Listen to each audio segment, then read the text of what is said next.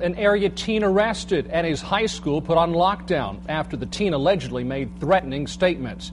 The teen was arrested this morning at his home in the town of Beaver in Marinette County. He is a junior at Crivitz High School. At this time, Fox 11 is not naming the 17 year old because of the circumstances of the case. Also, he has not yet been charged. Fox 11's Lou Hillman has more. Some scary moments on Wednesday at Crivitz High School. Police kept a presence on campus all day because of alleged threats made against some students, the school, and Marinette County law enforcement.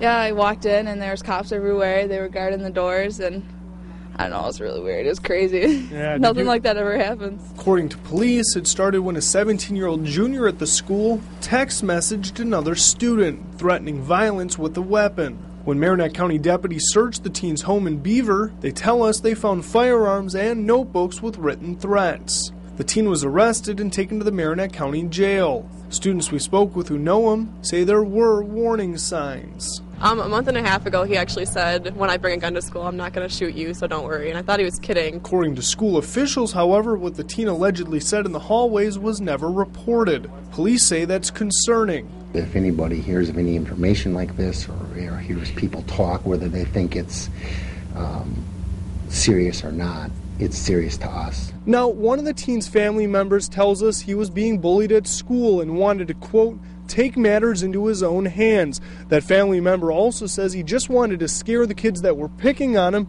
and he would have never hurt anyone. The teen's family member did not want to speak on camera. And as far as problems at school, officials say the teen suspect wasn't on their radar. we hadn't had any, he had really never had much in the way of behavior issues. We never had uh, a whole lot of warning that he had other issues with students. He generally was a well-behaved kid. Who is now accused of some serious crimes. In Crivitz, Lou Hillman, Fox 11 News. Now, the teen was released from jail this afternoon after posting a $750 cash bond. No charges have been filed in the case. Again, Fox 11 is not naming him at this time because of the circumstances of the case.